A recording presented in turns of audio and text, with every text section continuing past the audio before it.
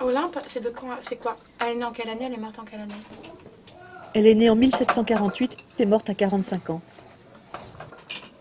Avec Catel, on avait envie de raconter la vie d'une femme exceptionnelle parce que c'est une des premières femmes euh, qui pose de manière euh, politique le problème de la femme dans la société. Donc ça nous a semblé quand même un personnage vraiment intéressant et puis extrêmement romanesque. Il y avait la possibilité de raconter un événement incroyable de l'histoire de la France, mais aussi euh, de l'humanité, qui est la Révolution française, vu à travers les yeux d'une femme.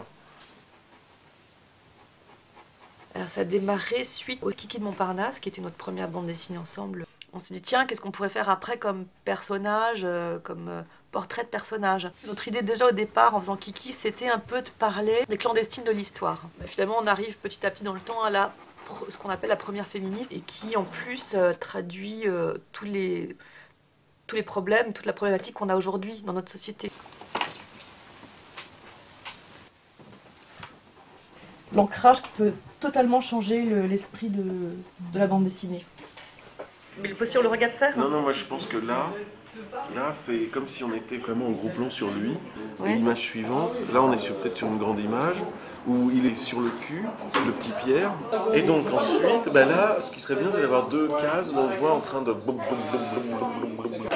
Voilà, et on le voit vider.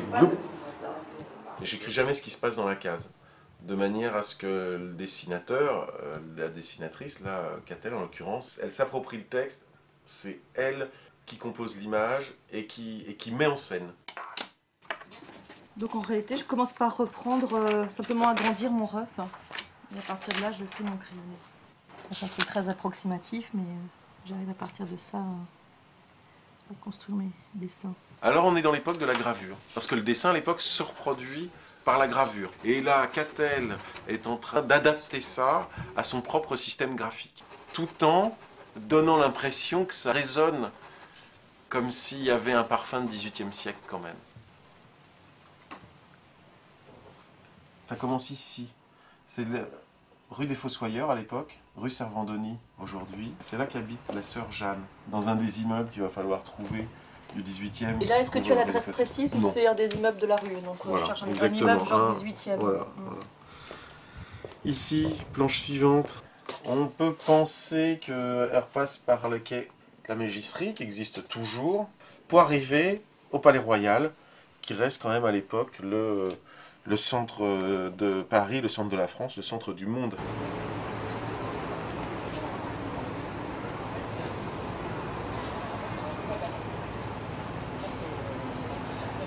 Je suis allée chercher à droite à gauche les portraits qui existent déjà des différentes personnalités qu'on va croiser dans la bande dessinée, les grands classiques de la Révolution française. Il faut que je cherche à quoi ils ressemblent. Car le problème là, de cette époque, c'est qu'ils ont tous des perruques et les mêmes perruques à peu près. Ce qui fait que pour les reconnaître, les, différencier les uns des autres, avec trois points de trait, il faut arriver à donner une personnalité qui font qu'ils seront euh, euh, plutôt eux que Tintin. C'est une énorme vedette, Voltaire il est sur les billets de banque. Le même point Voltaire, vieux.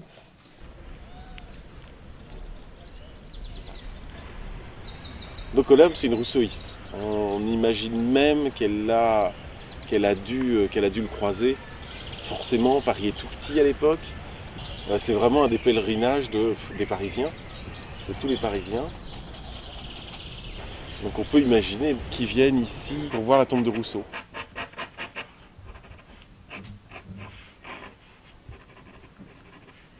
Attends, moi juste un truc, c'est qui cela là? Ça c'est le tiers-état. D'accord. Le clergé, la noblesse, et le tiers-état. Ils sont le double. Et puis ça, ce sont les, le peuple derrière. Voilà, et le problème, c'est que pour l'instant, chaque tiers a droit à une voix, en gros. On vote par ordre et pas par tête. Et si on vote par tête, eh ben, le tiers-État, évidemment, par tête de député, c'est le tiers-État qui aurait forcément la majorité. Alors que là, en votant par ordre, c'est le clergé et la noblesse qui a forcément la majorité. Connaît.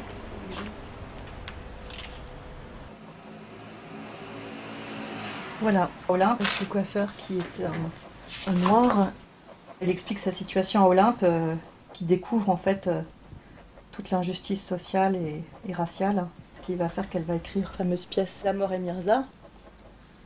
Elle est jouée à la comédie française, c'était son rêve. Et alors là, ben, c'est grosse ambiance parce que euh, il y a la moitié de la salle qui hurle au scandale et l'autre moitié qui hurle bravo, c'est merveilleux. Il est écrit qu'elle habitait à l'angle de la rue du théâtre français et de la place du théâtre, qui est celle-là, qui maintenant sont devenues la rue de l'Odéon et la place de l'Odéon. Super. Voilà, ce qui est important, c'est l'article 10 et l'article 1. La femme n'est libre et demeure égale à l'homme en droit. Les distinctions sociales ne peuvent être fondées que sur l'utilité commune. Mais voilà, je me dis que c'était bien d'avoir une double page dans le livre avec vraiment Ouais, cette déclaration. euh. Et puis je me suis dit, mais finalement, il est important que tout le monde puisse la lire à un moment donné, en entier. Après, il passe dessus rapidement ou il s'arrête juste sur un article.